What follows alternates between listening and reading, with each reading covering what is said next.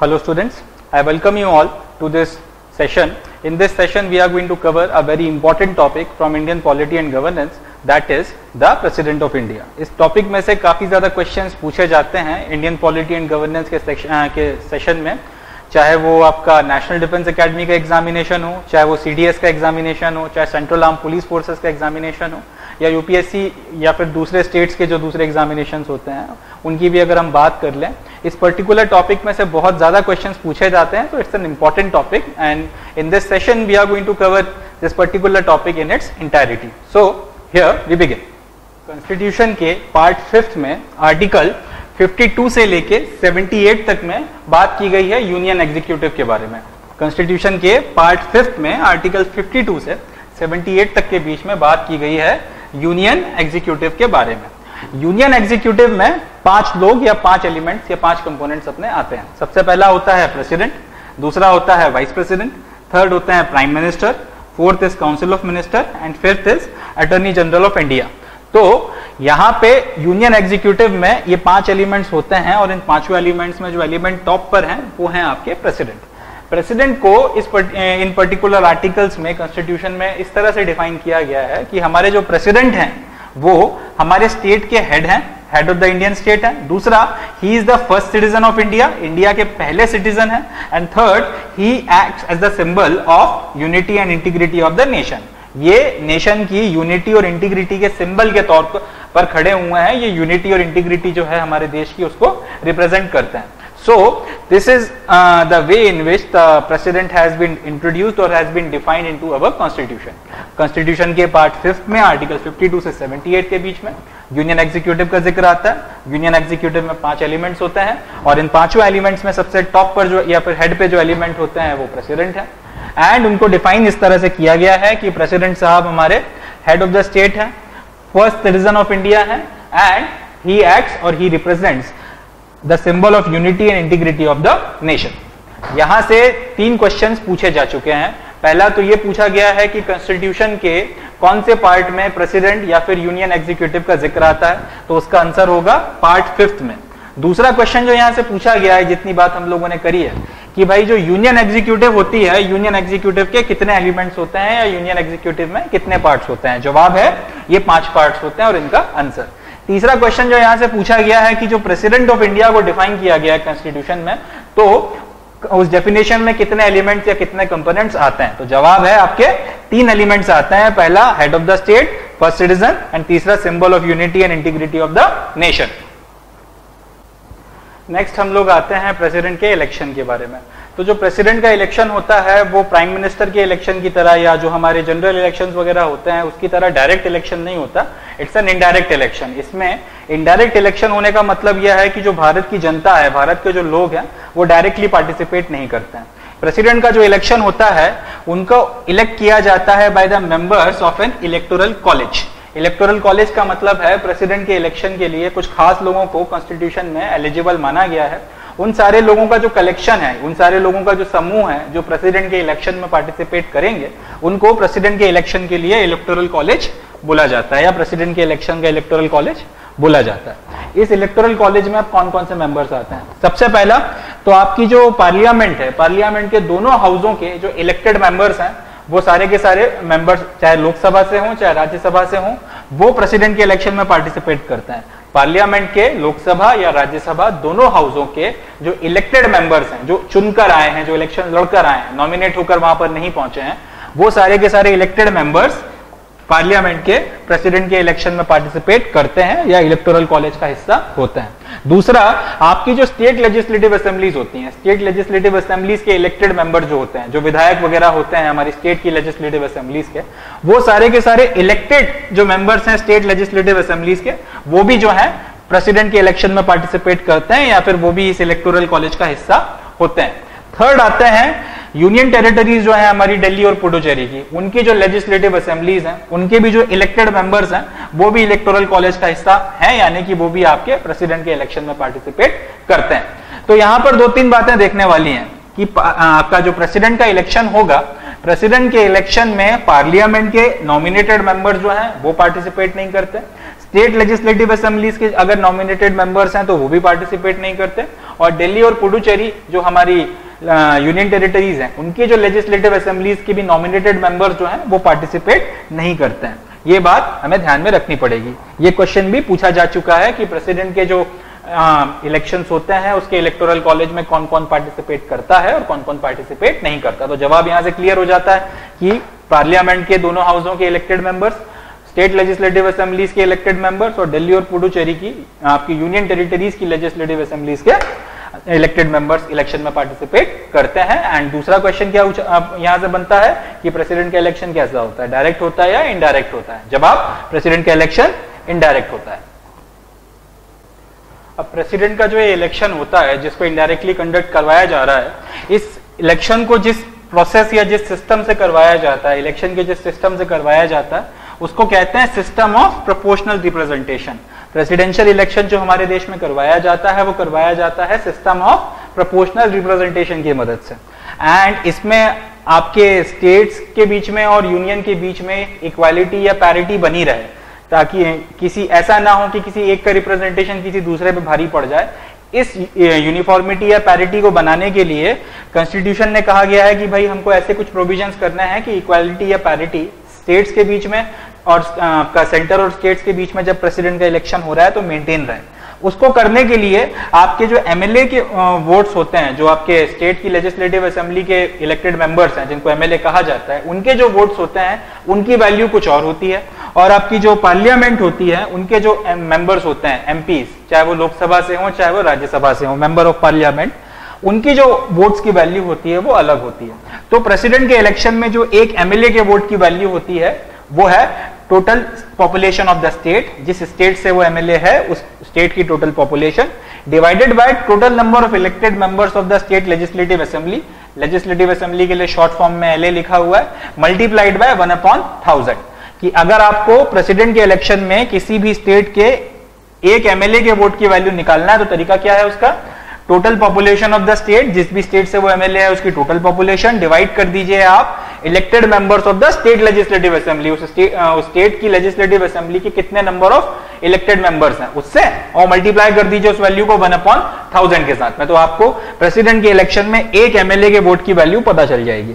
इसी तरह से अगर आपको प्रेसिडेंट के इलेक्शन में एक मेंबर ऑफ़ पार्लियामेंट के वोट की वैल्यू निकालना हो, चाहे वो मेंबर ऑफ़ पार्लियामेंट राज्यसभा से आता हो, चाहे वो मेंबर ऑफ़ पार्लियामेंट लोकसभा से आता हो तो उसको निकालने का तरीका यह है कि आपके जितने भी एमएलए ने वोट डाला है प्रेसिडेंट के इलेक्शन में उन सारे एमएलए के वोट्स की वैल्यू को अगर आप ऐड कर देते हैं total value of all the votes of all MLA of all states सारे स्टेट्स के सारे एमएलए की वोट्स की वैल्यू को अगर आपने ऐड कर दिया और उसको डिवाइड कर दिया by total number of elected members of parliament parliament के दोनों हाउसों में टोटल मिला के इलेक्टेड मेंबर्स कितने हैं, उस वैल्यू से अगर आपने डिवाइड कर दिया तो आपको एक एमपी के वोट की वैल्यू मिल जाएगी।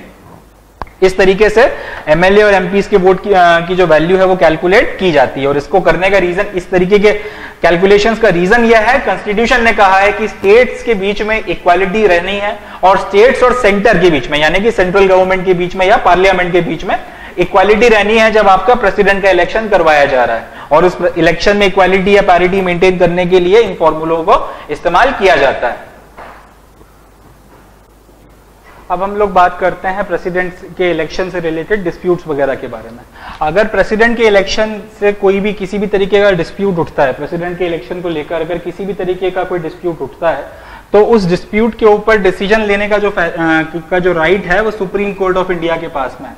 यानी कि इस तरीके के इस इलेक्शन में अगर कोई डिस्प्यूट उठा तो जिनके पास आप शिकायत लेकर जाएँगे, वो है सुप्रीम कोर्ट ऑफ़ इंडिया उसमें जो भी इंक्वायरी करना है और उसके बाद में जो भी डिसीज़न वगैरह देना है, वो सुप्रीम कोर्ट ऑफ़ इंडिया को देना है और उनका जो डिसीज़न है, वो फाइनल है। एक बार अगर किसी प्रेसिडेंशियल इलेक्शन से रिलेटेड डिस्प्यूट पे सुप्रीम कोर्ट ने अपना फैसला सुना दिया तो फिर उसके बाद उस पर और बहस नहीं हो सकती है।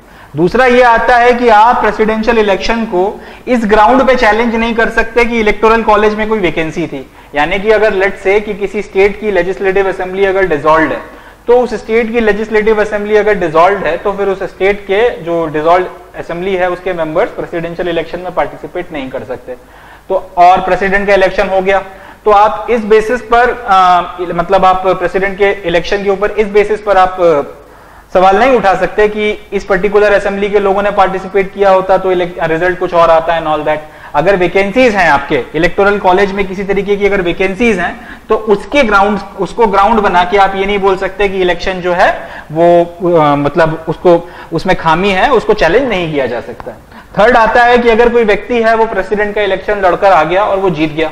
जीतने के बाद उसने अपना ऑफ़िस भी ज्वाइन कर लिया। मगर किसी ने सुप्रीम कोर्ट में प्रेसिडेंशियल इलेक्शन के अगेंस्ट में एक याचिका या फिर एक पिटिशन लगा दी।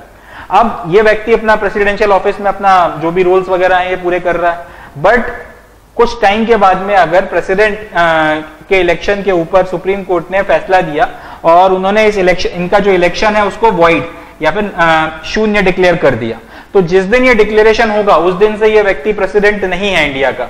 मगर उस दिन के पहले प्रेसिडेंट के ऑफ़िस में रहते हुए इन्होंने जो भी काम वगैरह किए थे, वो सारे के सारे नल एंड वॉइड नहीं होते, वो इफ़ेक्ट में रहते हैं। तो ये एक इंपॉर्टेंट पॉइंट है, ये हमको ध्यान रखना है कि अगर किसी व्यक्ति का प्रेसिडेंट अगर वो प्रेसिडेंट इलेक्शन जीत कर आया है और उसने अपना ऑफ़िस संभाल लिया, मगर बाद में अगर उनके इलेक्शन को वॉइड डिक्लेयर किया जाता है तो जिस दिन ये इलेक्शन वॉइड डिक्लेयर होगा, उस दिन के पहले तक उन्होंने ऑफ़िस में रहते हुए जो भी काम किया है, वो नल एंड वॉइड डिक्लेयर नहीं होता, वो इफ़ेक्ट में बना रहता है। नेक्स्ट आते हैं क्वालिफिकेशन की। अगर कोई व्यक्ति प्रेसिडेंट का इलेक्शन लड़ना भी चाहता है तो उसके लिए क्वालिफिकेशन वगैरह क्या है? क्या आपके पास कैपेबिलिटीज या क्वालिफिकेशन होने चाहिए, जिसके बाद में आप इस इलेक्शन के लिए एलिजिबल हो जाते हैं।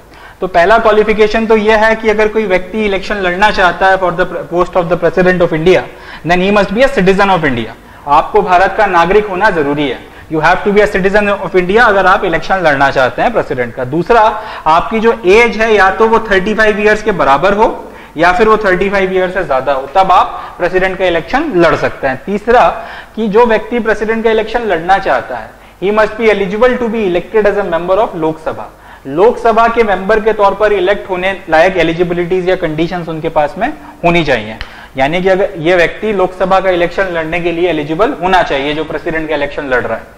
चौथा आता है कि he must not hold any office of profit आप किसी ऑफ़िस ऑफ़ प्रॉफिट पर नहीं होने चाहिए। ये चार कंडीशन हमको सेटिस्फाई करनी पड़ेंगी, तभी आप प्रेसिडेंट का इलेक्शन लड़ने के लिए केपेबल हैं, या फिर आप उसके लिए क्वालिफिकेशंस रखते हैं। अब ये क्वेश्चन भी जो है, ये कई बार घुमा फिराकर पूछा जा चुका है कि एज जो है वो थर्टी ईयर्स है या forty years and all that exact जो एज है वो थर्टी फाइव ईयर्स है।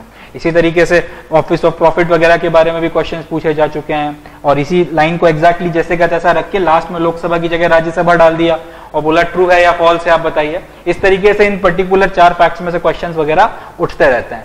एक बात यहाँ पे देखने वाली यह है कि ऑफ़िस ऑफ़ प्रॉफिट में अगर कोई व्यक्ति पहले से प्रेसिडेंट की पोस्ट पर बैठा हुआ है, या फिर वाइस प्रेसिडेंट की पोस्ट पर बैठा हुआ है, या स्टेट गवर्नर की पोस्ट पर बैठा हुआ है, या फिर स्टेट या सेंटर में किसी भी गवर्नमेंट में कोई मिनिस्टर वगैरह है, ये जो चार पोस्ट वगैरह हैं, चाहे एक सिटिंग प्रेसिडेंट हो या सिटिंग वाइस प्रेसिडेंट हो, किसी स्टेट का सिटिंग गवर्नर हो स्टेट या सेंट्रल गवर्नमेंट की गवर्नमेंट्स में कोई मिनिस्टर वगैरह हो, ये जो पोस्ट वगैरह है, इस पे जो व्यक्ति है वो, ये जो पोस्ट है ये ऑफ़िस ऑफ़ प्रॉफिट में नहीं गिनी जाती, ये ऑफ़िस ऑफ़ प्रॉफिट में काउंट नहीं करती है। तो कोई व्यक्ति अगर इनमें से किसी भी एक पोस्ट पर है तो भी वो प्रेसिडेंट का इलेक्शन लड़ सकता है। वो इनवैलिडेट नहीं होगा इस ग्राउंड पे कि वो ऑफ़िस ऑफ़ प्रॉफिट होल्ड करता है। ये पब्लिक ऑफ़िस माने गए हैं, ये ऑफ़िस ऑफ़ प्रॉफिट नहीं माने गए अब कोई व्यक्ति अगर प्रेसिडेंट का इलेक्शन लड़ लिया और इलेक्शन जीत कर वो आ गया। तो अपने ऑफ़िस में एंटर करने के पहले, प्रेसिडेंट के ऑफ़िस का चार्ज लेने के पहले, उस व्यक्ति को जिसने ये प्रेसिडेंशियल इलेक्शन लड़ा है और जीता है, उसको एक ओथ लेना पड़ती है बिफोर एंटरिंग इज़ ऑफ़िस ये जो ओथ है, ये उस कैंडिडेट के ऊपर एडमिनिस्टर की जाती है by the chief justice of India Bharat के जो चीफ जस्टिस हैं, उनके द्वारा ये ओथ जो है, उस व्यक्ति को दिलवाई जाती है जो प्रेसिडेंट के ऑफ़िस का चार्ज लेने वाला है। अगर किसी कारणवश चीफ जस्टिस ऑफ़ इंडिया अगर मौजूद नहीं है, उनका ऑफ़िस अगर वेकेंट है, वो स्वस्थ नहीं है, कोई भी रीजन के कारण अगर चीफ जस्टिस ऑफ़ इंडिया मौजूद नहीं है तो उनकी गैर मौजूदगी में फिर आपके जो भी सीनियर मोस्ट जज हैं सुप्रीम कोर्ट के, वो फिर ये ओथ जो है, आपके प्रेसिडेंशियल कैंडिडेट के ऊपर, जो चार्ज लेने वाले हैं अभी प्रेसिडेंट के ऑफ़िस का, उनके ऊपर ये ओथ एडमिनिस्टर करते हैं। इसके अलावा अगर किसी और व्यक्ति को भी प्रेसिडेंट बनाया जाता है टेम्पररी टाइम पीरियड के लिए, अगर वाइस प्रेसिडेंट जो है, वो प्रेसिडेंट का चार्ज ले रहे हैं और कुछ वक्त तक के लिए वो प्रेसिडेंट की ड्यूटीज़ वगैरह को अगर आपका निभाएँगे तो उनको भी ये ओथ लेना पड़ती है, उनको भी फिर ये ओथ चीफ जस्टिस या फिर उनकी गैर मौजूदगी में सुप्रीम कोर्ट के सीनियर मोस्ट जज के द्वारा दिलवाई जाती है। तो ये ओथ लेने के बाद ही कोई व्यक्ति अपने ऑफ़िस का चार्ज, प्रेसिडेंट के ऑफ़िस का चार्ज जो है वो ले सकता है। अब आता है प्रेसिडेंशियल ऑफ़िस का टर्म। तो प्रेसिडेंट जिस दिन अपने ऑफ़िस की के में एंटर करने के लिए ओथ लेता है, जिस दिन भी chief justice of India president को ओथ एडमिनिस्टर करवाते हैं, उस दिन से वो अपने ऑफ़िस को पाँच साल तक के लिए होल्ड करते हैं। एंड पाँच साल तक होल्ड करने के बाद करते हैं। अगर वो चाहें, पाँच साल तक का जो टाइम पीरियड है, तब तक वो अपना ऑफ़िस होल्ड करते हैं। अगर वो चाहें तो इसके पहले वो रिजाइन भी कर सकते हैं और रिजाइन करने के लिए उनको अपना जो रेजिग्नेशन है, वो वाइस प्रेसिडेंट के नाम लिखना पड़ेगा। अगर प्रेसिडेंट जो है, पाँच साल तक का अपना जो टर्म है, वो पूरा नहीं करना चाहते तो रिजाइन कर सकते हैं। मगर रिजाइन करने के लिए रेजिग्नेशन आपको वाइस प्रेसिडेंट ऑफ़ इंडिया के नाम लिखना पड़ेगा। यहाँ पे क्वेश्चन पूछा गया है कि प्रेसिडेंट को रिजाइन करने के लिए रेजिग्नेशन किसको देना है? Vice president chief justice of India prime minister या काउंसिल ऑफ़ मिनिस्टर तो राइट आंसर इज़ आपका वाइस प्रेसिडेंट इसके अलावा अगर पार्लियामेंट चाहे तो प्रेसिडेंट का पाँच साल का जो टर्म है, उसको पूरा होने के पहले इनको इंपीचमेंट की प्रोसेस की मदद से हटा भी सकती है। अब इंपीचमेंट की प्रोसेस क्या होती है, अभी हम बात करेंगे। मगर ये तीन जो है, चीज़ें टर्म के बारे में है कि जिस दिन प्रेसिडेंट अपना ऑफ़िस संभालते हैं, जिस दिन उसका चार्ज लेते हैं, उस दिन से पाँच साल तक के लिए उस ऑफ़िस को होल्ड करते हैं। मगर अगर चाहें तो पाँच साल के टर्म के पहले भी रिजाइन कर सकते हैं। रेजिग्नेशन के लिए वाइस प्रेसिडेंट के नाम के अपना रेजिग्नेशन लिखना पड़ेगा उन्हें। एंड पार्लियामेंट अगर चाहे तो पाँच साल का टर्म खत्म होने के पहले इनको इंपीच करके हटा भी सकती है इनकी ऑफ़िस वगैरह से। ये आपके टर्म के बारे में जो है इंपॉर्टेंट फैक्ट्स हैं, जो जिससे काफ़ी क्वेश्चंस वगैरह एग्ज़ाम में पूछे जा चुके हैं। अब हम बात करते हैं प्रोसेस ऑफ़ इम्पीचमेंट के बारे में। इम्पीचमेंट की जो प्रोसेस है, उसके द्वारा पार्लियामेंट जो है प्रेसिडेंट साहब को उनके ऑफ़िस से उनका टर्म खत्म होने के पहले निकाल सकती है रिमूव कर सकती है। इम्पीचमेंट जो है, वो की जा सकती है, या इम्पीचमेंट का हिंदी में महाअभियोग बोला जाता है। महाअभियोग लगाया जा सकता है प्रेसिडेंट के ऊपर सिर्फ़ एक कंडीशन के लिए, सिर्फ़ एक चीज़ के लिए। That is violation of the constitution constitution के वायलेशन के लिए ही प्रेसिडेंट के ऊपर इम्पीचमेंट किया जा सकता है। इसके अलावा किसी और चीज़ के लिए नहीं किया जा सकता। मज़े की बात यह निकल कर आती है कि कॉन्स्टिट्यूशन में यह डिफाइंड नहीं है कि वायलेशन ऑफ़ कॉन्स्टिट्यूशन का मतलब होता क्या मगर यहाँ से क्वेश्चन पूछा गया है कि इंपीचमेंट क्यों किया जा सकता है, और उसके चार ऑप्शंस में से एक ऑप्शन आपका वायलेशन ऑफ़ कॉन्स्टिट्यूशन था तो this is going to be the right option तो प्रेसिडेंट का जो इंपीचमेंट है, वो किया जा सकता है for the violation of constitution मगर कॉन्स्टिट्यूशन ने डिफाइन ही नहीं किया है कि वायलेशन ऑफ़ कॉन्स्टिट्यूशन का मतलब एक्चुअल में होता क्या अब इंपीचमेंट का जो प्रोसेस है, उसको इनिशिएट करना है तो आप पार्लियामेंट के दोनों में से किसी भी हाउस में उसको शुरू करवा सकते हैं। पार्लियामेंट के दोनों में से किसी भी हाउस में इंपीचमेंट का रेजोल्यूशन मूव किया जा सकता है। एक, आपको अगर रेजोल्यूशन ऑफ़ इंपीचमेंट मूव करना है प्रेसिडेंट के अगेंस्ट में तो जिस भी हाउस में आप रेजोल्यूशन मूव कर रहे हैं, उसके कम से कम वन फोर्थ मेंबर से आपको उसको साइन करवाना पड़ेगा। उसी के बाद आप इसको उस हाउस में इंट्रोड्यूस कर सकते हैं, उसके पहले आप इसको इंट्रोड्यूस नहीं कर सकते। प्लस इस तरीके का कोई भी रिजोल्यूशन मूव नहीं किया जा सकता किसी भी हाउस में पार्लियामेंट के before giving a 14 days notice to the president यानी कि आपको प्रेसिडेंट को एक नोटिस देना पड़ेगा कि सर आपके अगेंस्ट में इंपीचमेंट का चार्ज आज से 14 दिनों के बाद में आने वाला है। एंड उसी, जब वो 14 दिनों का टाइम पीरियड नोटिस के बाद का खत्म हो जाएगा, उसी के बाद आप ये रिजोल्यूशन ऑफ़ इंपीचमेंट मूव कर सकते हैं। अब पार्लियामेंट पार्लियामेंट के जिस भी हाउस में ये रेजोल्यूशन ऑफ़ इंपीचमेंट आया है, वहाँ पर अगर ये पास हो गया स्पेशल मेजोरिटी के साथ में स्पेशल मेजोरिटी क्या होती है, हम लोग बात करेंगे अभी। स्पेशल मेजोरिटी के साथ में अगर ये पार्लियामेंट के उस हाउस में पास हो गया तो फिर ये सेकेंड हाउस में ट्रांसमिट किया जाता है। एक हाउस में पास हो गया, इसको अब सेकेंड हाउस में भेजा जाएगा। सेकेंड हाउस जो है, जिन चार्जेस के बेसिस पर इंपीचमेंट का रिजोल्यूशन लाया गया है, उन चार्जेस का इन्वेस्टिगेशन वगैरह करता है। जब ये इन्वेस्टिगेशन चल रहा होता है, तब प्रेसिडेंट के पास में ये राइट होता है कि या तो वो खुद उस इन्वेस्टिगेशन में जाकर अपना पक्ष रख सकते हैं, या फिर वो अपने किसी रिप्रेजेंटेटिव को भेज सकते हैं जो उनके पक्ष को इन लोगों के सामने जो इन्वेस्टिगेशन कर रहे हैं इंपीचमेंट के चार्जेस का उनके सामने रखता है। अब इन्वेस्टिगेशन पूरा होने के बाद में अगर सेकेंड हाउस ने भी चार्जेस को अपहोल्ड किया, यानी कि उन्होंने माना कि जो चार्जेस लगाए गए हैं, वो सही लगाए गए हैं, और उन्होंने भी अगर स्पेशल मेजोरिटी से पास कर दिया रेजोल्यूशन ऑफ़ इंपीचमेंट को तो जिस दिन सेकेंड हाउस में ये resolution of impeachment special majority से पास होगा, उस दिन से प्रेसिडेंट साहब जो है ही विल स्टैंड इम्पीच्ड और he will stand remove from his office तो ये जो प्रोसेस है, वो होती है आपकी प्रोसेस ऑफ़ इंपीचमेंट अब स्पेशल मेजोरिटी का मतलब क्या होता है? स्पेशल मेजोरिटी का मतलब होता है कि किसी भी हाउस की टोटल मेजोरिटी प्लस जिस वक्त वोटिंग हो रही है, उस वक्त वहाँ पे जो लोग प्रेजेंट हैं उसका टू थर्ड एग्ज़ाम्पल के लिए अगर आपके एक हाउस में सौ लोग हैं फॉर एग्ज़ाम्पल और आप चाहते हैं कि आप इस हाउस की स्पेशल मेजोरिटी से आप इस हाउस में एक बिल या एक रेजोल्यूशन पास करा लें। एक हाउस की टोटल स्ट्रेंथ जो है 100 है और आप चाहते हैं कि आप इस हाउस में स्पेशल मेजोरिटी से एक बिल पास करा लें। तो पहला, एक तो आपको कम से कम 51 मेंबर्स के सपोर्ट की ज़रूरत पड़ेगी पड़ेगी। ये तो इसके हाउस की ऑर्डनरी मेजोरिटी हो गई। दूसरा, ज़रूरी नहीं है कि 100 के 100 लोग जो है उस वक्त प्रेजेंट हो जब आपकी ये वोटिंग वगैरह हो रही है। तो जितने लोग प्रेजेंट हैं number of people present let say P के बराबर है।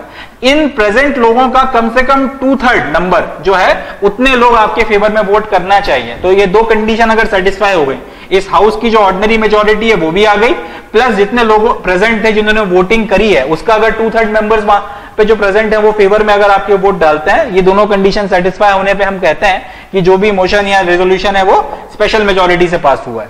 तो this is all about impeachment अब आता है vacancy in the house in the on the post of the president vacancy की अगर हम बात की, uh, करें तो प्रेसिडेंट के पोस्ट पे वैकेंसी पाँच तरीकों से जनरेट हो सकती है। पहला तो उनका टर्म जो है एक्सपायर हो जाए। पाँच साल का जो प्रेसिडेंट का टर्म है वो खत्म हो जाए तो हम कहेंगे कि प्रेसिडेंट के ऑफ़िस में वैकेंसी आ गई। दूसरा अगर कोई प्रेसिडेंट आपके ऑफ़िस में है और ऑफ़िस में उनकी डेथ हो गई ऑफ़िस से मेरा मतलब पाँच साल का जो उनका टाइम पीरियड है वो भी वैलिड है उसमें वक्त है खत्म होने में। मगर इनकी डेथ हो गई। तो उस केस में भी हम लोग बोलेंगे कि वैकेंसी जनरेट हुई है। अगर प्रेसिडेंट ने रिजाइन कर दिया अपनी पोस्ट से, तब भी हम लोग कहेंगे कि वैकेंसी जनरेट हुई है। अगर इंपीचमेंट वगैरह की प्रोसेस लगा के पार्लियामेंट ने उनको रिमूव कर दिया तो भी हम कहेंगे कि वैकेंसी जनरेट हुई है। और अदर्स का मतलब ये होता है, अगर इनका अगर इनका इलेक्शन वगैरह नल एंड वाइट डिक्लेयर हो गया, उस केस में भी हम लोग कहेंगे कि वैकेंसी जनरेट हो गई है और उसको कैटेगराइज किया जाता है अदर्स की कैटेगरी में। तो अगर प्रेसिडेंट के ऑफ़िस में एक्सपायरी ऑफ़ टर्म के कारण अगर वैकेंसी जनरेट हो रही है, उनका टर्म खत्म होने वाला है और उसके कारण वैकेंसी जनरेट हो रही है तो इनका टर्म खत्म होने के पहले नए इलेक्शंस करवा के प्रेसिडेंशियल इलेक्शंस करवा के नया कैंडिडेट जो है, उसको चुन लिया जाता है कि ताकि जैसे इनका टर्म खत्म हो तो नया प्रेसिडेंट जो है, जिसको चुना गया है, वो आकर हम अपना ऑफ़िस जो है होल्ड कर सके। किसी कारणवश अगर ये इलेक्शन नहीं होता तो फिर ये जो आउट गोइंग प्रेसिडेंट है, वो अपना टर्म खत्म होने के बाद में भी ऑफ़िस को होल्ड करके रखते हैं, जब तक पार्लियामेंट और आपके जो इलेक्टोरल कॉलेज के दूसरे मेंबर्स वगैरह हैं, वो सब इलेक्शन करवा के नया प्रेसिडेंशियल कैंडिडेट जो है, चुन नहीं लेते। अगर एक्सपायरी ऑफ़ टर्म के अलावा किसी और कारण से वैकेंसी जनरेट हुई है डेथ के कारण रेजिग्नेशन के कारण रिमूवल के कारण या अदर्स कोई भी रीजन के कारण अगर जनरेशन वैकेंसी जनरेट हुई है तो फिर जिस दिन ये वैकेंसी जनरेट हुई है, उस दिन से छह महीनों के अंदर अंदर आपको प्रेसिडेंशियल इलेक्शन करवा के नया कैंडिडेट अपना चुनना होता है। अगर पहले कारण से वैकेंसी जनरेट हुई है तो उस केस में तो सिटिंग प्रेसिडेंट जो है, वही ऑफ़िस होल्ड करते हैं। मगर अगर इन चार में से किसी और कारण से, चार में से किसी एक कारण के कारण अगर वैकेंसी जनरेट हुई है तो छह महीनों तक जब तक इलेक्शन नहीं होंगे, तब तक आपके जो वाइस प्रेसिडेंट हैं, वो प्रेसिडेंट की ड्यूटीज़ वगैरह को पूरा करते हैं या फिर उनकी ड्यूटीज़ वगैरह को निभाते हैं। अज्यूम कर लेते हैं कि अगर वाइस प्रेसिडेंट जो है, उनका भी ऑफ़िस वेकेंट है, उनका भी ऑफ़िस में वेकेंसी है तो फिर उस केस में जो सुप्रीम कोर्ट के चीफ जस्टिस ऑफ़ इंडिया हैं चीफ जस्टिस हैं, वो प्रेसिडेंट की ड्यूटीज़ वगैरह को निभाते हैं। अगर चीफ जस्टिस ऑफ़ इंडिया भी मौजूद नहीं है तो उस केस में सुप्रीम कोर्ट के जो सीनियर मोस्ट जज हैं सीनियर मोस्ट जज of the supreme court senior most जज जो सुप्रीम कोर्ट के हैं, वो प्रेसिडेंट की ड्यूटीज़ वगैरह को निभाते हैं। और जब ये, इनमें से कोई भी जो भी प्रेसिडेंट की ड्यूटीज़ वगैरह को निभाएगा, उनको वही ओथ लेना पड़ती है, जो प्रेसिडेंट ऑफ़ इंडिया ने ली थी अपने ऑफ़िस में एंटर करने के पहले। एंड जब तक वो प्रेसिडेंट की ड्यूटीज़ वगैरह को निभाते हैं, अगर वाइस प्रेसिडेंट हो सीजेआई हो या सुप्रीम कोर्ट के सीनियर मोस्ट जज जो भी हो, जब तक वो प्रेसिडेंट ऑफ़ इंडिया की ड्यूटीज़ वगैरह को पूरा कर रहे हैं, तब तक फिर वो अपने ऑफ़िस के जो भी फ़ंक्शन या ड्यूटीज़ है, उनको डिस्चार्ज नहीं करते हैं।